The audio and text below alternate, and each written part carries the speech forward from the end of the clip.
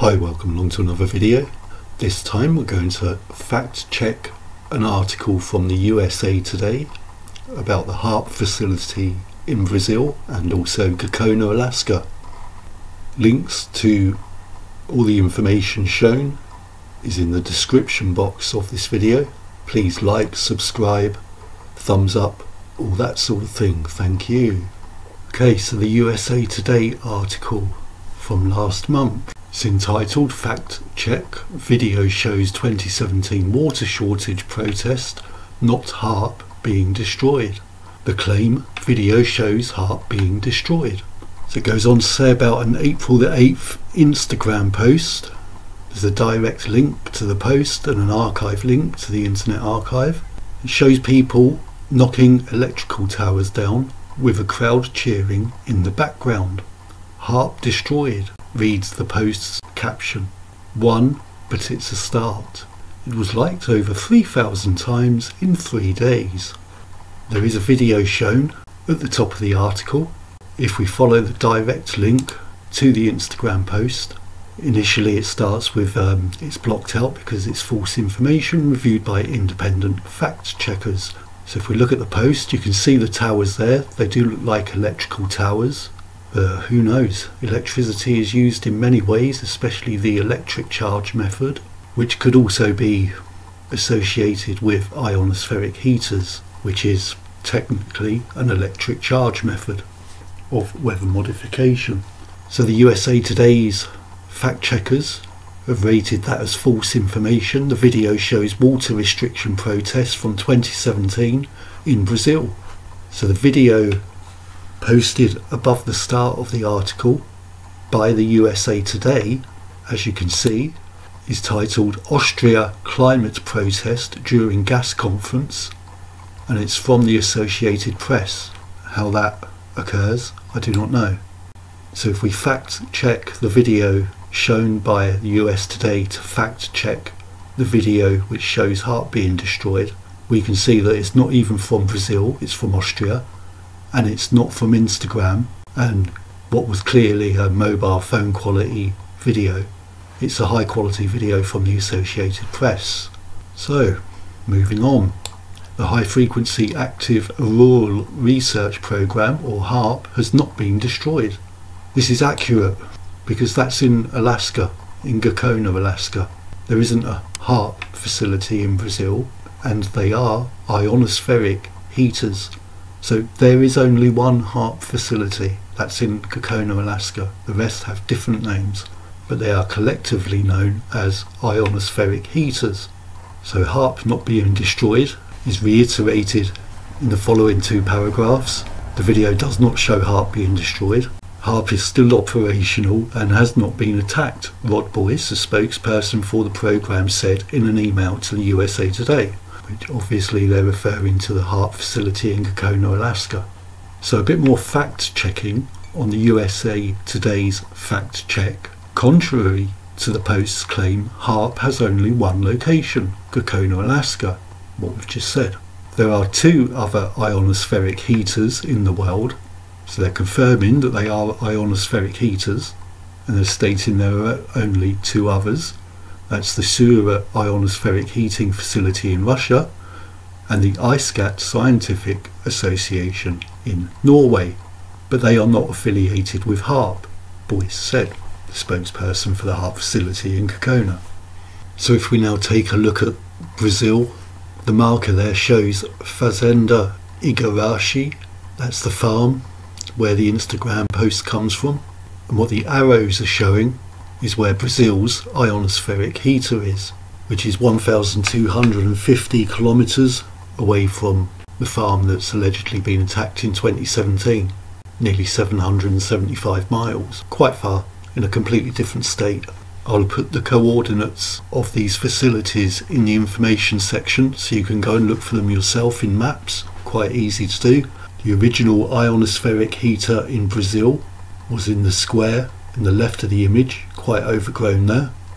That was in about 2010. The strip, which is the newer array, and this image is from about three or four years ago. In current images on maps, it does look quite overgrown. So whether it's still operational or not, who knows? There's a picture of the UK facility in Wales. There's a picture of the Indian facility and there are others around. So that was Brazil and other places. If we move over now to Texas in the USA, there's an article about Texas based geoengineering company hopes to increase rain output. Rainwater Tech aims to solve drought conditions in Texas. So we go through a little bit of this article. So to be clear, they're calling it a geoengineering company and they're going to bring weather controlling technology to their region. So that's not a geoengineering company, that's a weather modification company. Rainwater Tech is a weather modification company. So, a Texas weather modification company is hoping to bring weather controlling technology to their region to boost rain production and solve drought conditions. Rainwater Tech, which is based in Austin, Texas, uses a technological process that enlarges raindrops in clouds to enhance rain output anywhere from 10% to 20%. It's physically and scientifically impossible to enlarge rain droplets, unless of course you've got Pym particles, then you can enlarge or reduce anything. But because Pym particles are something from a fantasy movie and they don't exist in the real world, it's actually impossible to enlarge raindrops. All you can do is attract water, atmospheric moisture, to the area you're targeting with the weather modification process. Ionospheric heaters, we've been chatting about them. What we do is basically produce an ion plume that goes up into the atmosphere, attaches to the cloud nuclei and enhances rain. Rainwater Tech CEO Mike Nefkins told KXAN. The company, which was founded in 2022, intends to primarily serve governments and municipalities, as well as farmers and corporations. We'll look at the KXAN article in a moment, where you'll see that the company was not founded in 2022. The American company was founded in 2022. Specifically, Rainwater Tech is hoping to target Lake Travis in Austin, which has been an inconsistent supply of water to the city in the past few years. Stop adding people to your city, you won't need any more water, will you? Try coexisting with your environment instead of controlling it. Simple solution. So Rainwater Tech will use three antennas to capture weather coming from rainier parts of the country without disrupting any weather cycles. That is scientifically impossible. If you redistribute atmospheric moisture from one area to another, you are disrupting weather cycles. You are changing them. That's what weather modification is.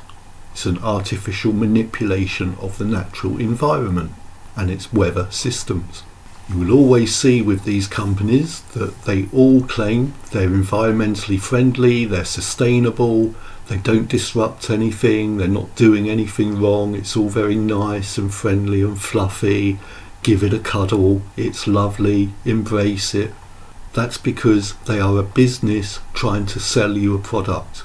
It's called marketing as you know. It's no different than showing a chicken in a grassy field with an egg next to it. It gives you the impression that everything's lovely and there's not a million chickens in a barn under artificial lighting where none of them can escape when one of them gets bird flu.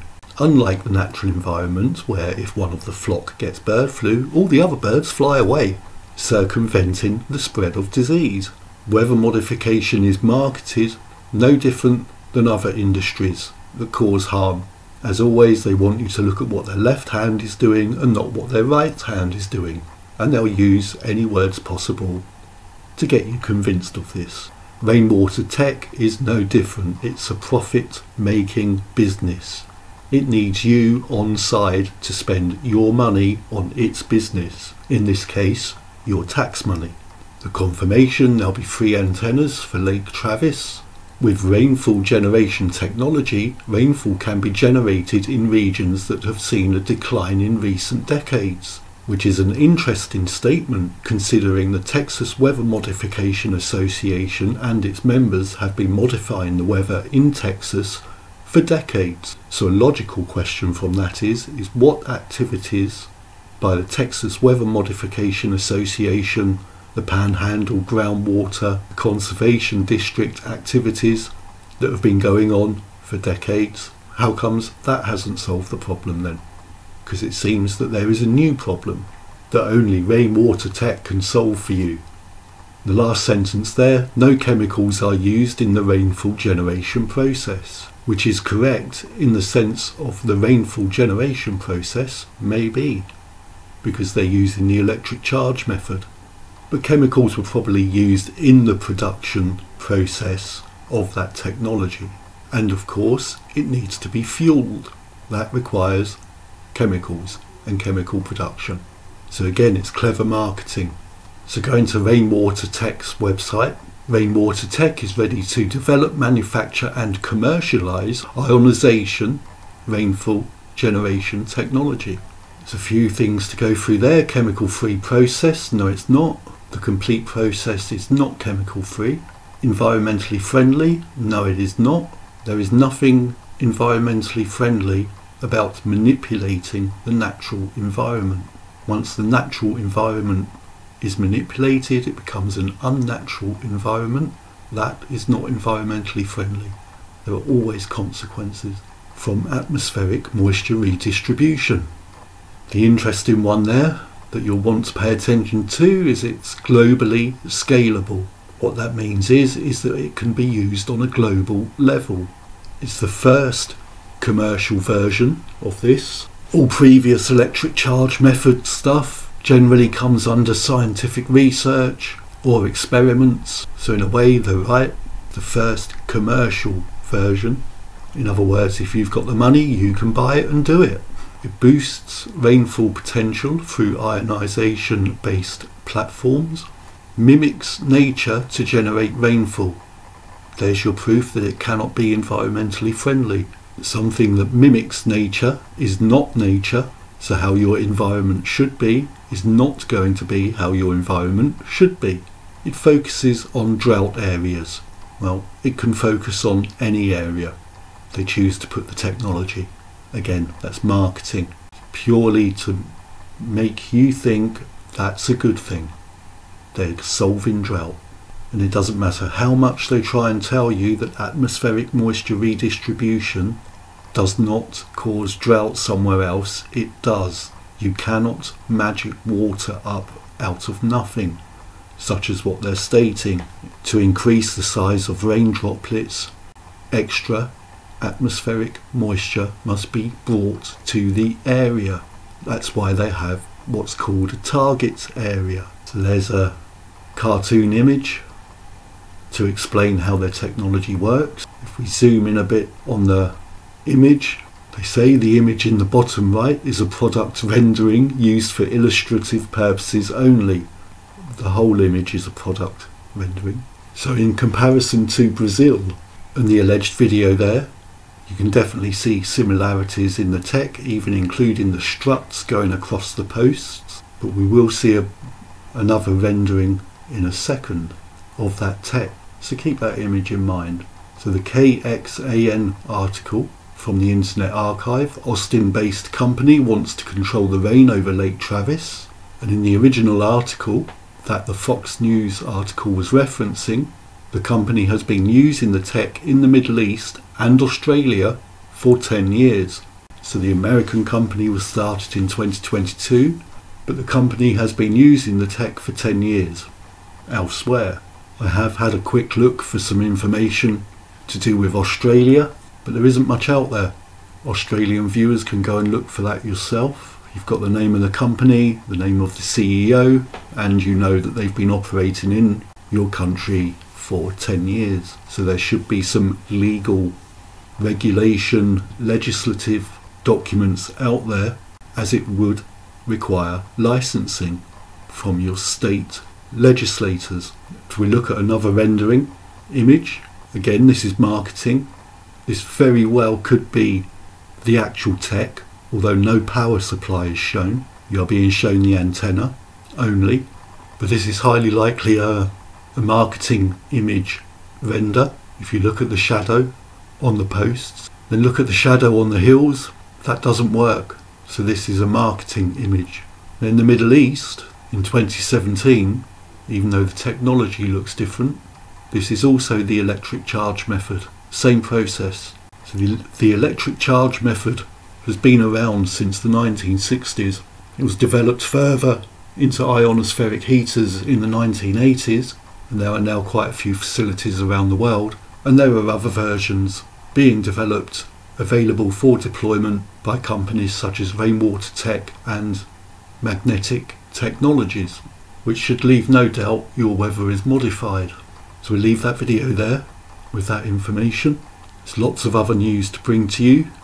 That will come in a second video very soon.